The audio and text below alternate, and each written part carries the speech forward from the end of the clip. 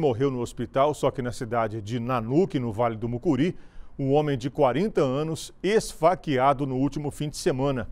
Alex Guimarães Santos foi atacado durante uma briga no bairro Laticínios, área de alto índice de criminalidade na cidade, segundo a Polícia Militar.